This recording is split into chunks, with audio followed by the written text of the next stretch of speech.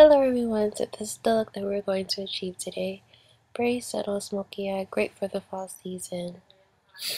And we're going to be using our L'Oreal um, Quad Palette and Desert Sun. I'm going to take that brown color and apply that all over your crease area. Sorry guys, I'm kind of sick.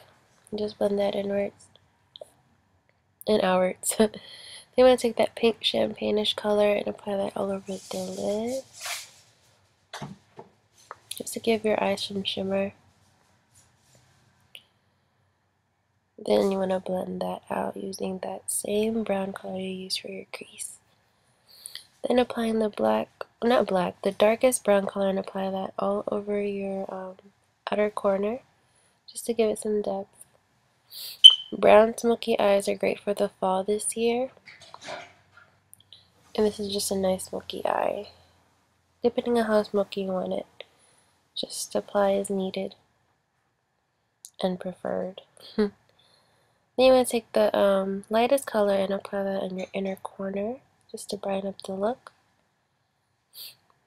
And apply Foxy on your um, brow bone just to soften up the crease.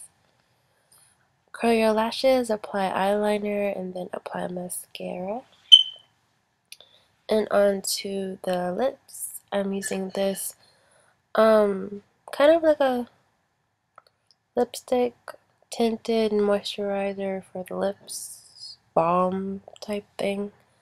Very very pretty wine plum color great great for the fall. And that is the look you guys. Hope you like it. Please comment rate subscribe and i'll see you guys later. Bye